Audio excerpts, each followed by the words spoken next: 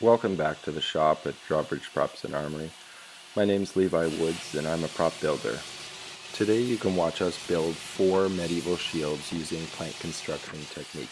Starting from a stack of 1x4s, we quickly rip a 5 degree angle off the edge, leaving the original manufactured edge on the face of the shield. 5 degrees seems to work out well because on a 21 to 24 inch shield you get a decent curve that not only looks right, isn't too curved for an actor to wear.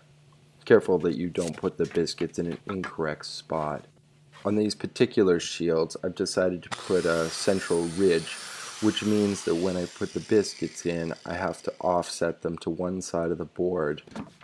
We're going to glue them together to create a curved shield as I go along, I like to vinegroon the pieces individually. And what that does is it creates a more naturally aged look of your final shield and gives a bit of variation between each individual plank as we're creating it.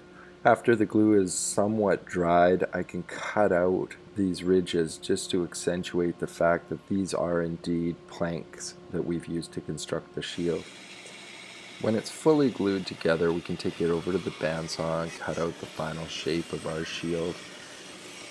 The next thing we're going to do is sand all the edges and add a little bit of teching just to make them a little bit worn. We're, we're pretty rough with this process to try to give it a handmade feel. After that, another little technique just to make some carriage bolts look like they're handmade just pop them into one of our anvils and then hammer the top of them. It removes the embossed numbers off the top and gives it a hammer made feel. Since these are zinc coated carriage bolts, it's really easy for us to blacken them. We just throw them into a blackening solution for a few minutes, rinse them off, and ta-da, blackened carriage bolts. The scene in the show that we were building these shields for actually required a couple different types of shields for different armies.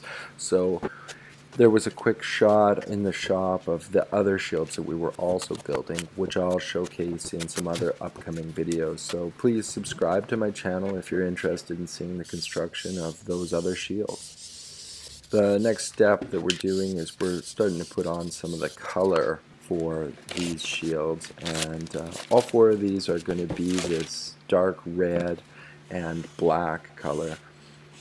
Now that we've got the shields all painted up it's time to move on to the strapping. So I'm cutting from a Latigo's side a bunch of straps and now just figuring out about how much space I need for for your hand to fit, for the actor to wear it comfortably and you know, there's a general rule of thumb to these things, but uh, each project is slightly different and every shield is different. So using calipers and laying out the strapping and trying to keep it at a reasonable angle.